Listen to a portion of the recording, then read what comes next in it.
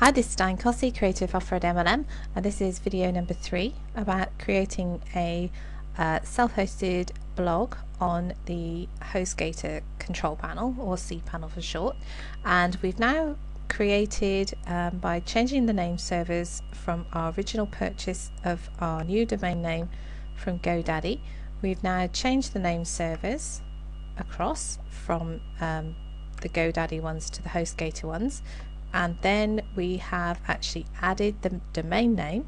And what this does is it creates a file in the back section of cPanel which will now be the little house if you like for everything that you're going to do within that domain name. So if you're going to build a website uh, you would then store all your files for building the website and upload to the file that has now been created. So there's a now there is a new folder in the back office here and it's always public HTML and there you can see there is a new folder for our new domain name with nothing in it at the moment. So we're going to go back to the cPanel and we're not going to build, be building a website we're actually going to be building a um, WordPress blog. So there's a really nifty little tool in the back of these um, control panels.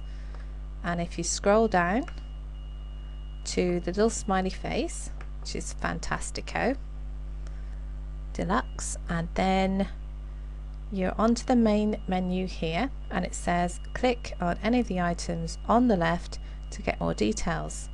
So it's going to be a WordPress blog. So I'm going to click WordPress it's going to open up into um, support forum and then we're going to click new installation which is what it is. And then we're just going to wait for that to tell itself to load up into a new new window. And then what we're going to do is hopefully complete the installation of the uh, WordPress standard blog software to this new domain name. If it ever loads which will be the new membership blog. Now it's given me the install and domain as domain default but actually I want to install it inside that domain which will take it into the folder that I just showed you in the in the section previous to this. So that is going to be done. So I'm going to install the blog I'm going to leave this empty because they're going to automatically put it in for me. Username.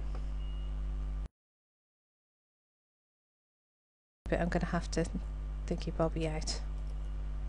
I'm going to have to block this out because I can see you're going to see the password. That's not very not very um, well protected. So we'll be blocking that out when we make this live. And then admin nickname I'm just going to call it Diane. And then description I'm actually going to put it doesn't really matter. I'm actually just going to put in team team blog. And then I'm going to click install WordPress. And then as with all things we need to just finalize. Uh, you've chosen to install the main directory of the domain go big or go home and then the URL will be go go home team.com and then click finish the installation.